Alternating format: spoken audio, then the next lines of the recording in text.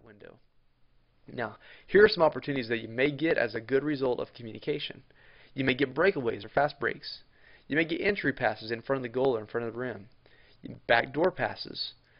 Ball switches to an open side of the field.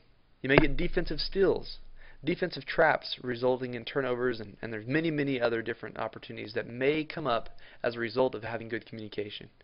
In addition to taking advantage of windows of opportunity, good communication allows you to make constant adjustments during the course of the game. So the third question is, how can I develop good communication? Well, there's a few basic things you can do to develop good communication on your team. First, teach your players the common terms for your sport and what they mean. You know, soccer's got some very specific ones. Uh, square means pass directly to the sideline. Negative is passing the ball back towards your own goal. Through ball, pass the ball on the ground past the, the defense, etc. Now, again, in our report section, we've got all these common terminologies for this broken down by sport, so you can download and, and grab those reports uh, and pass those out, print them out, and pass them out to your teammates and or to your uh, your team. Second thing to develop good communication, insist that your players use these common terms when practicing or playing. And third, reward those who communicate with a verbal affirmation and encouragement. So when you hear your team, you hear your players, you hear your teammates talking and, and being very specific and using these kinds of terms, let them know it. Let them know they do a good job. Point it out. Uh, that will reinforce that in their minds. Now here are a few points of emphasis for teaching good communication skills. First, use a tone of voice that's appropriate for the situation. Use urgency for urgent situations. Use calm tone to slow down the game, etc. You can I've I've often during these times when a window of uh, opportunity is open on the court, if you say through ball now, that urgent sound in my voice is what makes them think, oh, it has to happen, you know. And by if I want to instill somebody who's getting a little carried away, he's he's getting a little bit out of control, I'll say, all right, now slow it down a little bit, let's relax, and I'll use my tone of voice to kind of slow things down.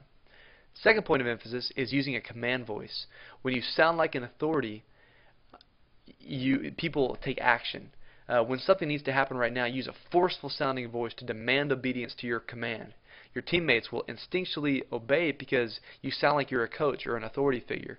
It's it's really funny when this happens. Uh, you don't want to put yourself above somebody else and talk down to them, but in a game situation when windows of opportunity are closing and opening and closing very fast, this is very very effective using that command voice. Third, be very specific. Use your terminology.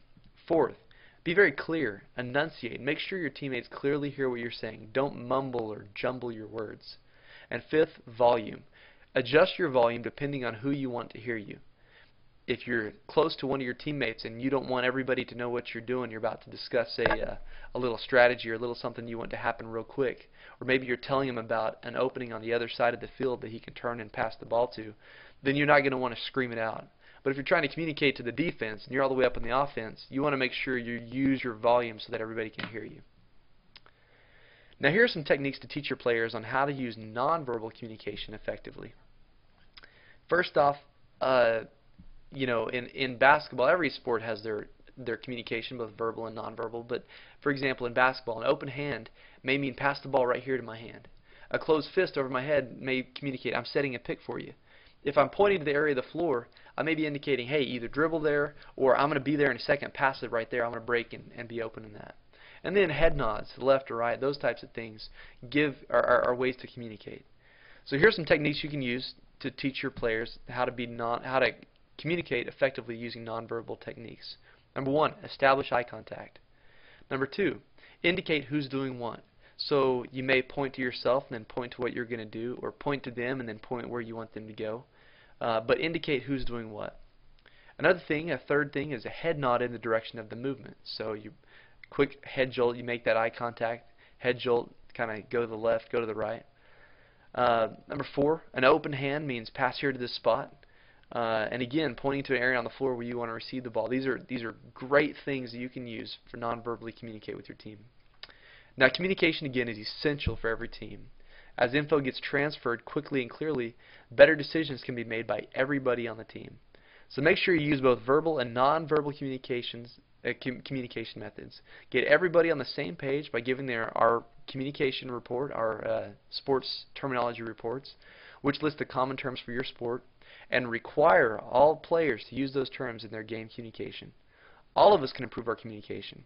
Keep working on these different elements of communication and you'll quickly be on your way to becoming a champion. Again, this is Lyndon with MindOfAChampionSports.com. We'll see you again soon.